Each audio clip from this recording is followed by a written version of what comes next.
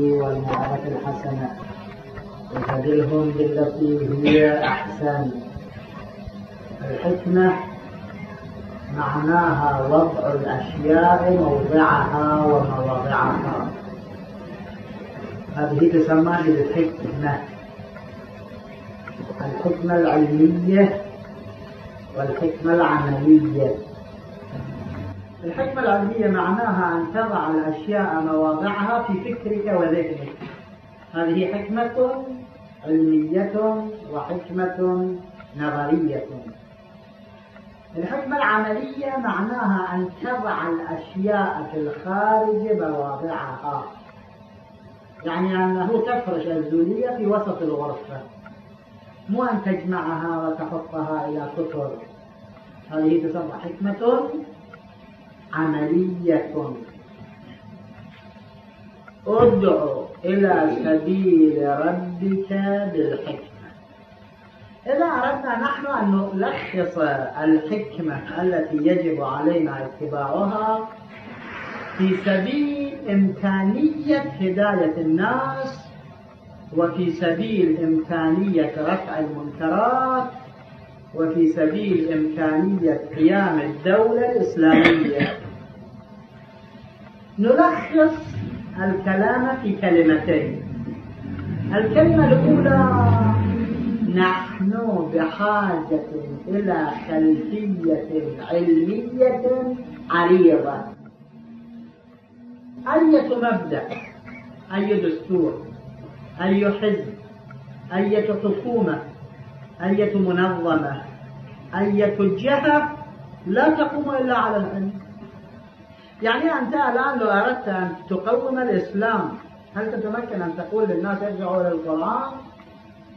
هل تتمكن أن تقول للناس ارجعوا إلى الأحاديث؟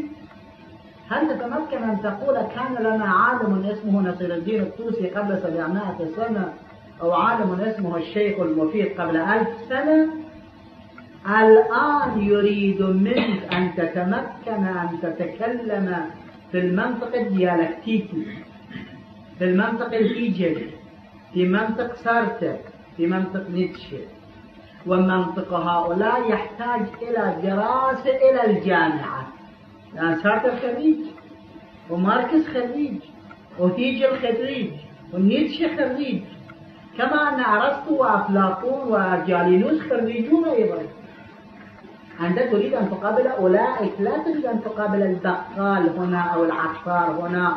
أو طالب مدرسة خريج الثانوية أو خريج الابتدائية أبدا.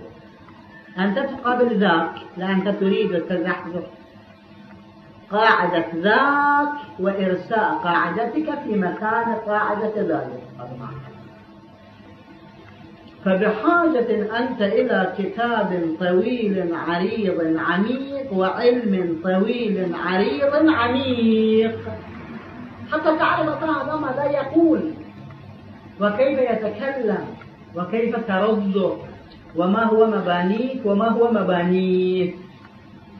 إننا بحاجة إلى الأناس الذين يريدون تقديم الحياة ودفع المنكر وإحقاق الحق يحتاجون إلى علم عريض عريض عريض.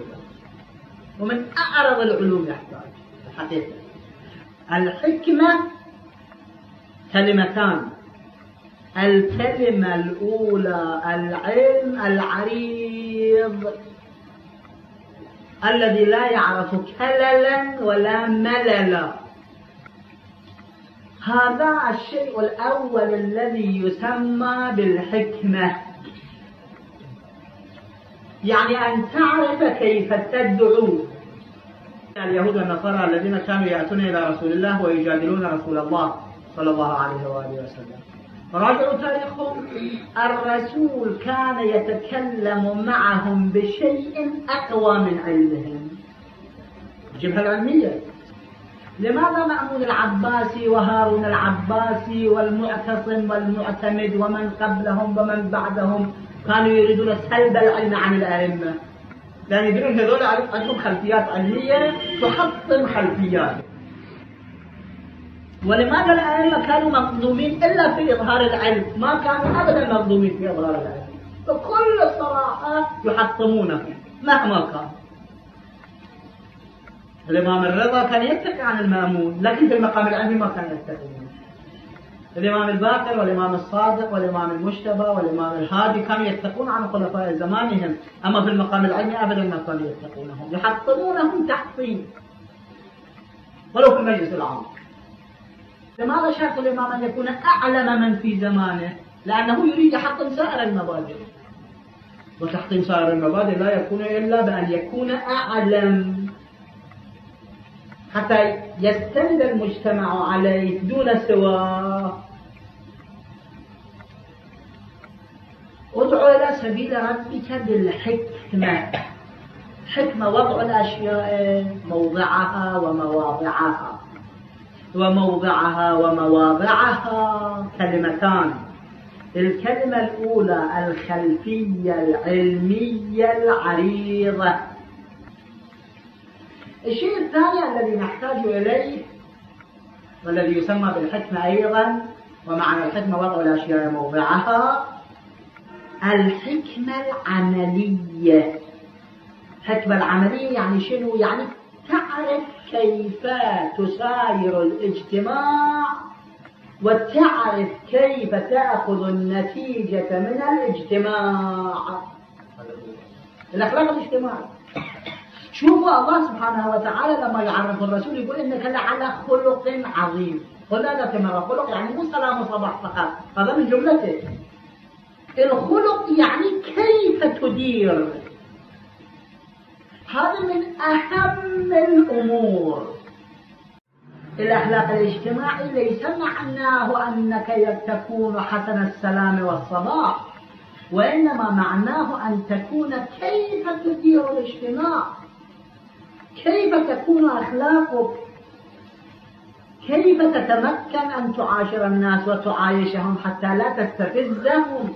هذا كلش مهم في الحقيقة يعني أن الإنسان يجب عليه أن لا يأخذه الغرور إذا صار عالما ويجب أن لا يأخذه الغرور إذا صار عاملا.